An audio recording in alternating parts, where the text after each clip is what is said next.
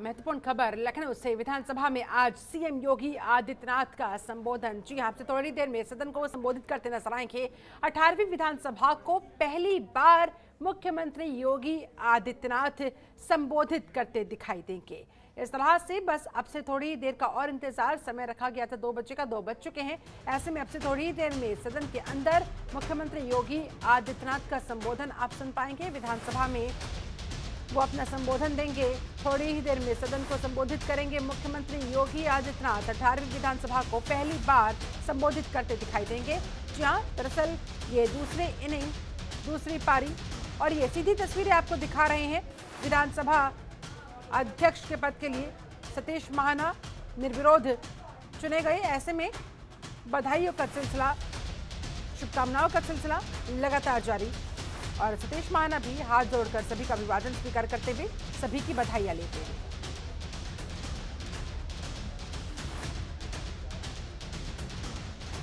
तो महराजपुर सीट से विधायक सतीश महाना जिन्हें जब मंत्रिमंडल में जगह नहीं मिली तो तमाम तरह के कयास लगाए जा रहे थे, लेकिन जल्द ही ये स्पष्ट हो गया कि उन्हें विधानसभा अध्यक्ष के महत्वपूर्ण पद की ज़िम्मेदारी सौंपी जा रही है। और इस समय देखिए वो कुछ कह भी रहे हैं।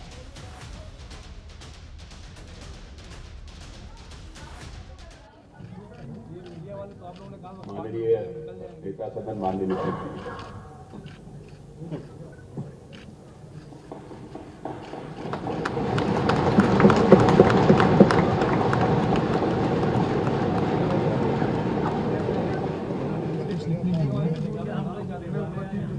अध्यक्ष अठारहवीं विधानसभा हो गया इधर आ जाइए काफ़ी देर से आप लोग के अध्यक्ष के रूप में सर्वानुमति आपके चयन के लिए मैं पूरे सदन की ओर से आपका अभिनंदन करता हूँ और आपको बधाई देता हूँ।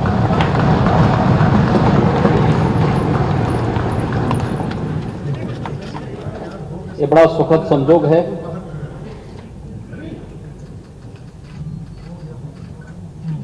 कि आपसे पहले सत्रह महानुभावों ने इस पद को सुशोभित किया।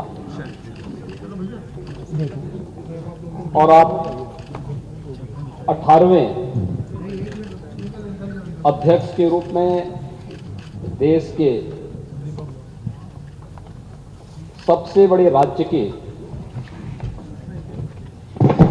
विधानसभा के अध्यक्ष के रूप में आज इस पद पर आसीन हुए हैं।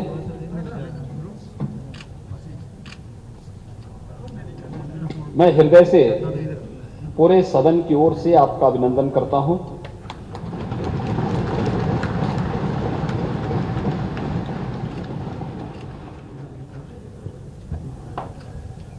हमारे शास्त्र हमें एक बात के लिए प्रेरणा देते हैं।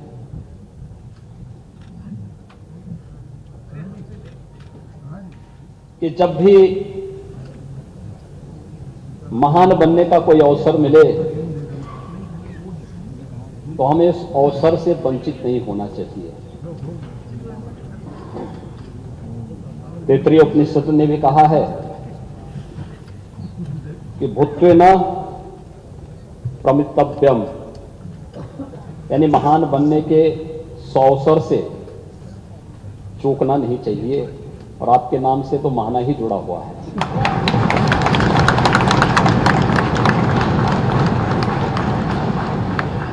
स्वाभाविक रूप से लोकतंत्र के इस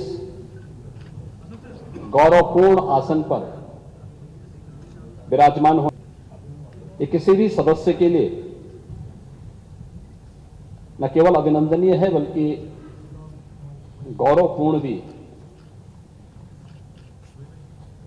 और फिर इस पीठ पर एक अनुभवी सदस्य का चयन सर्वानुमति से हो, यह अत्यंत सुखद की अनुभूति कराता है और खासतौर पर तब जब उत्तर प्रदेश विधानसभा में अभी बहुत दिन नहीं हुए हैं मार्च प्रथम सप्ताह में दोनों ओर से मिसाइलें चल रही थी। और उस समय हर व्यक्ति एक दूसरे के हमलों से, जुलसने से बचने के लिए अपने अपने स्तर पर प्रयास कर रहा था। लेकिन ये भारत में ही संभव हो सकता है। और भारत में भी, उत्तर प्रदेश में ही कि राजनीतिक मतभेद भले ही कितने क्यों न हो, लेकिन लोकतंत्र को पुष्ट करने के लिए सर्वानुमति का रास्ता अपनाने और लोकतंत्र की गरिमा को और उसकी मर्यादा को बनाए रखने के लिए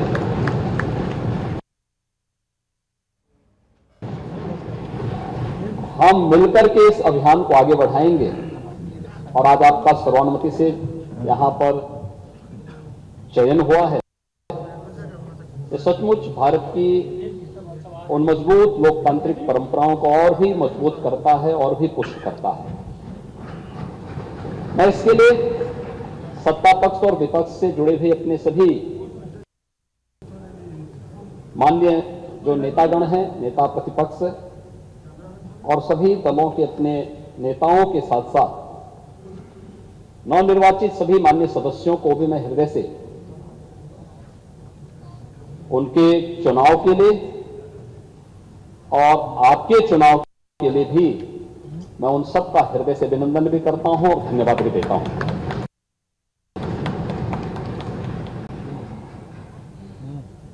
अध्यक्ष जी, जब हम लोग उत्तर प्रदेश विधानसभा की बात करते हैं, उत्तर प्रदेश विधानसभा के अध्यक्ष को सुशोभित किया। श्री केसरीनाथ त्रिपाठी जी ने तीन बार उत्तर प्रदेश विधानसभा के गरिमा में मैं पूर्ण पद को सुशोभित किया और आज जब हम 18वीं विधानसभा में हैं तो इस सदन के वरिष्ठ सदस्य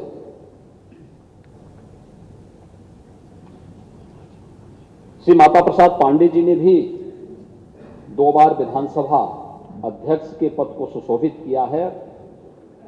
आज भी इस सदन, इस सदन के मान्य सदस्य चुने गए हैं।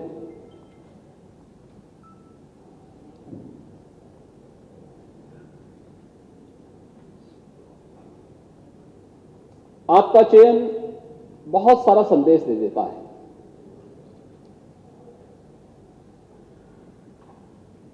ये संदेश अध्यक्ष पद जैसे गरिमामय पद के लिए तो है ही। हमारी लोकतांत्रिक परंपराओं को पुष्ट और मज़बूत करने की दृष्टि भी महत्वपूर्ण है। और उससे भी महत्वपूर्ण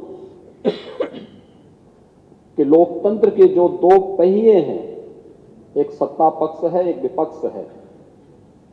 दोनों मिलकर के उत्तर प्रदेश की 25 करोड़ जनता के सर्वांगीण विकास के कार्यों को भी एक नई ऊंचाई तक पहुँचा करके नए भारत का नया उत्तर प्रदेश बनाने में अपना योगदान दे सकते हैं। और यह संदेश उत्तर प्रदेश की कोटि कोटि जनमानस के बीच में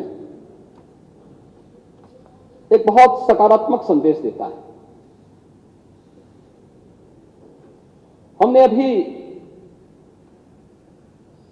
मार्च प्रथम सप्ताह तक चुनाव के दौरान देखा, एक दूसरे पर आरोप, प्रत्यारोप, आक्षेप और बयानबाजियों का जो दौर चलता रहा, हर दल अपने अनुसार करता था। लेकिन एक चीज़ है, जो हम देश के अंदर भी देखते हैं, उत्तर प्रदेश के अंदर भी देखते हैं, जनता कभी नकारात्मकता को स्वीकार नहीं करती। कभी नहीं।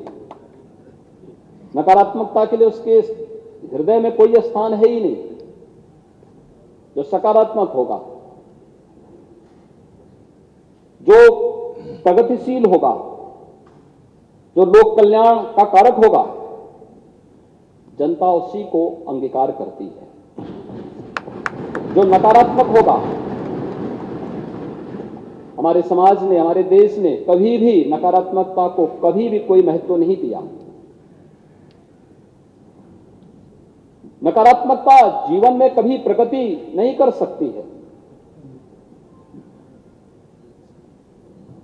सकारात्मकता से ही हम न केवल प्रगति के मार्ग को आगे बढ़ा सकते हैं, बल्कि सकारात्मकता के भाव से ही लोक कल्याण का मार्ग भी प्रशस्त कर सकते हैं। और आज जब देश की अपेक्षाएँ उत्तर प्रदेश जैसे राज्य से हो, हर एक क्षेत्र में हो, दुनिया जब अपने द्वंद्व में उलझी हुई हो, उन स्थितियों में भारत से जो अपेक्षाएँ हैं,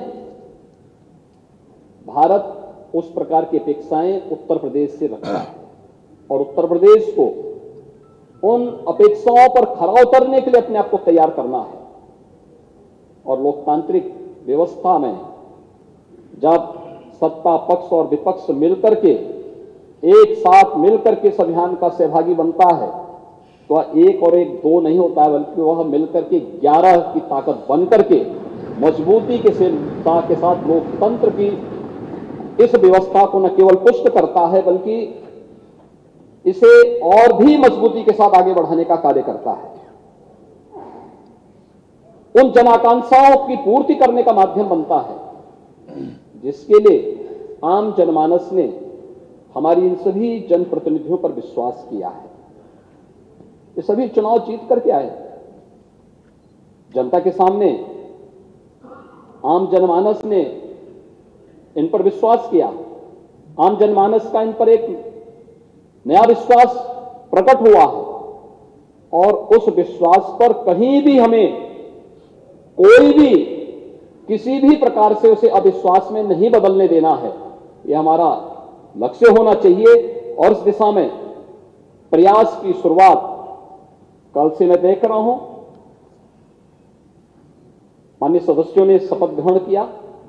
शपथ ग्रहण करने के बाद जिस सकारात्मक भाव के साथ शपथ ग्रहण का कार्यक्रम प्रारंभ हुआ, मैंने देखा है कि कल तक यहाँ पर 343 मान्य सदस्यों ने एक दिन में ही शपथ ग्रहण कर लिया था।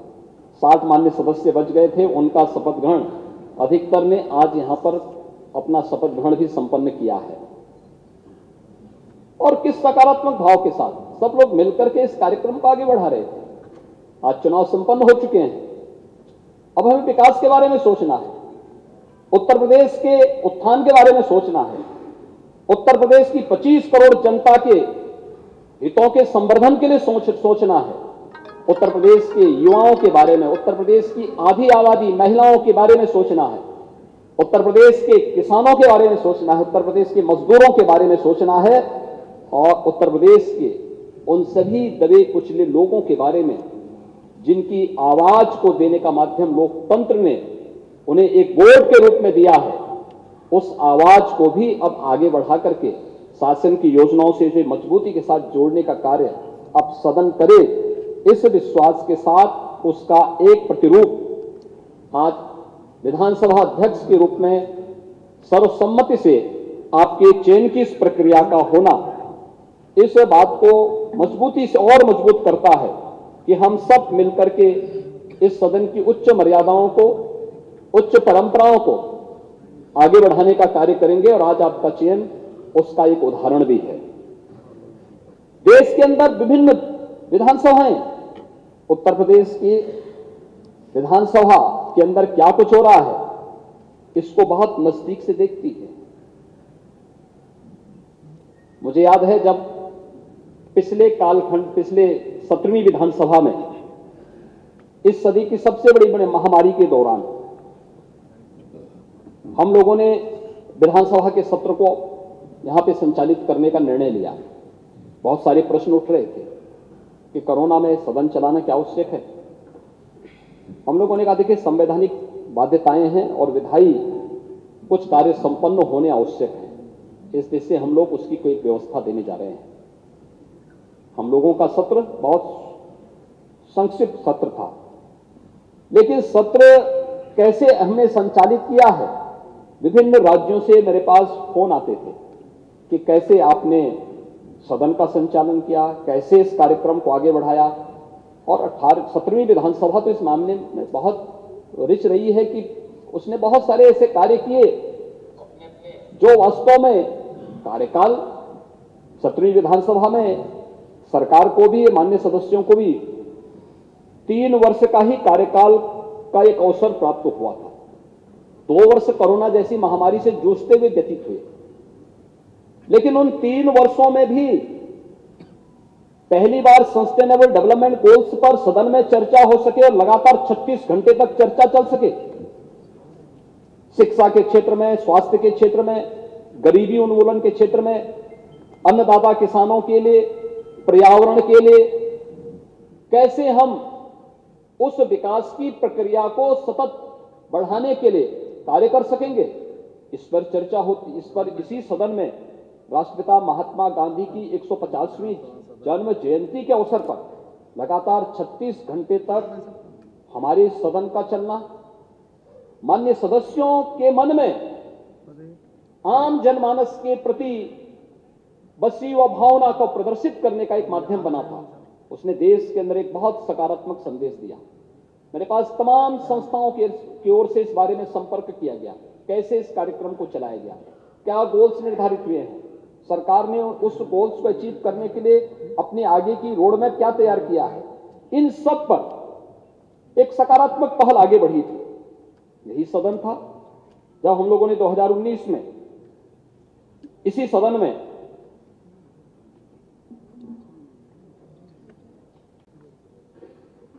छब्बीस नवंबर 2019 को संविधान को अंगीकार करने के दिवस को, उसकी सत्तरवीं वर्षगांठ पर एक विशेष सत्र का आयोजन संविधान से संबंधित और बाबा साहब भीमराव अंबेडकर के प्रति श्रद्धा और सम्मान का भाव व्यक्त करते हुए इस अवसर पर एक विशेष सत्र हम लोगों ने आयोजित किया था और तीसरा विशेष सत्र भी आयोजित हुआ था जब 31 दिसंबर 2019 को संविधान के 126वें संशोधन विधेयक के समर्थन के लिए हम लोगों ने एक विशेष सत्र यहाँ पर आयोजित किया था, जो अनुसूचित जाति, जनजाति से संबंधित, उनके हितों से संबंधित एक विशेष सत्र आयोजित किया गया था।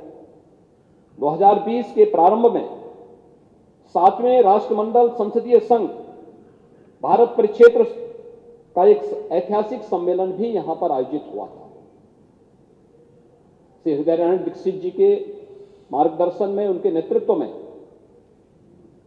सत्रहवीं विधानसभा ने जिस गरिमामूढ़ में मई तरीके से सत्र के संचालन को उन्होंने अपनी विद्वता से, अपने सार्वजनिक जीवन के अनुभव से आगे बढ़ाने का कार्य किया था। अत्यंत अभिनंदनीय रहा। और उत्तर प्रदेश विधानसभा में जिन बातों पर चर्चा होती थी, जिन मुद्दों को यहाँ पर उठाया जाता था उसकी गूंज देश के अंदर विभिन्न राज्यों के साथ ही प्रदेश के अंदर भी गाँव और गलियों तक भी सुनने को, देखने को हम सबको मिलती थी। कि आज उत्तर प्रदेश विधानसभा में जनता से जुड़े भी इस मुद्दे पर गंभीर चर्चा हुई है? आज उत्तर प्रदेश विधानसभा ने इस दिशा में एक नए प्रस्ताव को आगे बढ़ाया है। आज ये अलग अलग अलग अलग मुद्दों पर जनता के बीच में भी ये बातें सुनने को मिलती थी। वह एक बहुत सकारात्मक भाव होता है। मुझे लगता है कि जब जनता अपनी विधायी संस्था को एक विश्वास के रूप में देखती है तो हम मान करके चलें कि लोकतंत्र के प्रति आम जनमानस के विश्वास को प्रकटीकरण करने का सबसे अच्छा माध्यम होता है। और लोकतंत्र के प्रति आम जनमानस का विश्वास लोकतंत्र को सबसे ज़्यादा मजबूती दे सकता है। और उस मजबूती का आधार हमें इस सदन को बनाना ही होगा। इस देश से आज आपका चयन हुआ है। हम सब जानते हैं, आप लगातार आठवीं बार उत्तर प्रदेश विधानसभा के सदस्य चुने गए हैं। आपके पास सार्वजनिक जीवन का एक लंबा अनुभव है। कानपुर जैसे औद्योगिक क्षेत्र में माँ गंगा के तट पर बसे हुए इस औद्योगिक नगर में ज़मीन से जुड़े हुए एक आम कार्यकर्ता के रूप में कार्य करते थे। बूथ स्तर के कार्यकर्ता के रूप में, मंडल अध्यक्ष के रूप में कार्यकर्ता, का कार्यकर्ता के रूप में, शिक्षा और सेवा के क्षेत्र में कार्य करने वाले संगठनों के पदाधिकारी और एक सामान्य कार्यकर्ता के रूप में कार्य करते हुए आपने एक लंबे समय तक जहाँ उस फ़ील्ड में काम किया, वहीं आठ बार से कानपुर के, कानपुर से, कानपुर महानगर से विधायक के रूप में आपका चयन आज इस सदन में होता रहा है। आपने विभिन्न सरकारों में भी अलग अलग मंत्री पद का दायित्वों का निर्वहन किया और कुशलता पूर्वक अपने नेतृत्व क्षमता का, अपनी प्रशासनिक क्षमता का, अपनी आम जनमानस के प्रति अपनी संवेदनाओं को प्रदर्शित भी किया है। वह आपके द्वारा लिए गए निर्णयों के आधार पर आपके द्वारा किए गए कार्यों के माध्यम से बार बार एक सदस्य का एक क्षेत्र से चुनाव जाना, यह और वह भी तब जब दुर्भाग्य से जातिवाद की उस राजनीति की उस आंधी में एक व्यक्ति जिसकी अपनी कोई जाति न हो, जिसकी अपनी जातीय पहचान न हो, जिसने अपने जन्म के साथ ही पैतृक रूप से महाना शब्द जोड़ करके अपने को ये कहा कि भैया हम तो सेवा करते करते महान हैं। इसलिए हम लोग केवल राष्ट्रवाद, सुशासन, विकास और गरीब कल्याण के इस अभियान के साथ जुड़ करके अपने इस कार्यक्रम को आगे बढ़ाएँगे।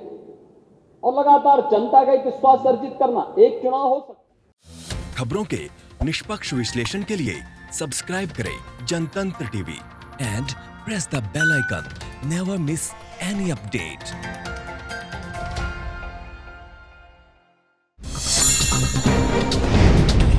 Download कीजिए जनतंत्र टीवी ऐप को, जो कि अवेलेबल है गूगल प्ले और ऐप स्टोर पर अधिक जानकारी के लिए अभी डाउनलोड करें